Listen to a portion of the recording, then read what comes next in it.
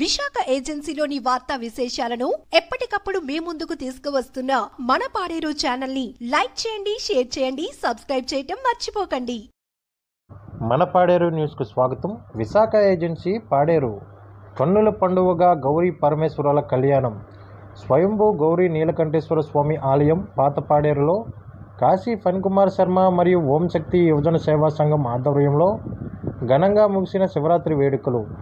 ప్రప్రథమంగా పాతపాడేరు శివాలయంలో శివపార్వతుల కళ్యాణం ఘనంగా జరిపారు.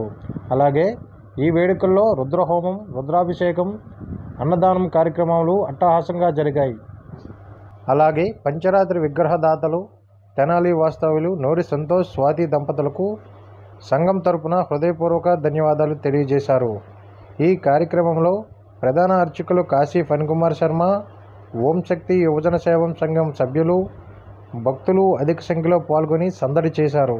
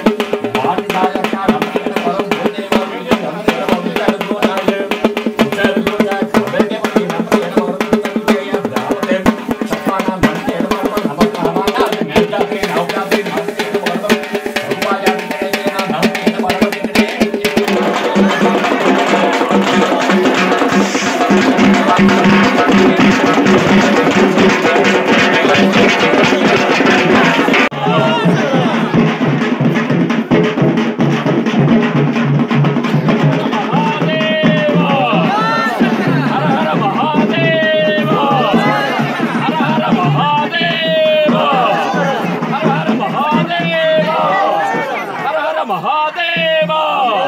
Hare Hare Mahadeva! Hare Hare Mahadeva! Hare Hare Mahadeva! Hare Hare Mahadeva! Hare Hare Mahadeva! Hare Hare Mahadeva! Hare Hare Mahadeva!